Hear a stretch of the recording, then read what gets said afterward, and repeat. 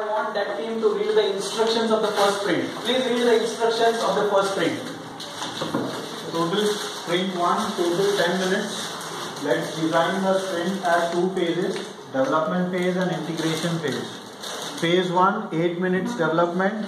Phase 2, 2 minutes integration. Yes, so we are going to we are going to divide the first sprint into 8 minutes of development and 2 minutes of integration. Alright? Please, please wait. You not started the first sprint. Read the instruction first. Please wait. Next. Parallel processing. Okay. Huh, read the instructions. During the sprint 1, each member picks the story that he she wants to develop.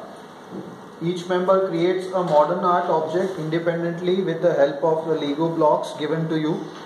Each member must develop minimum two objects. Sprint 1 retrospective debrief along with the instructor 5 minutes. Alright. Okay?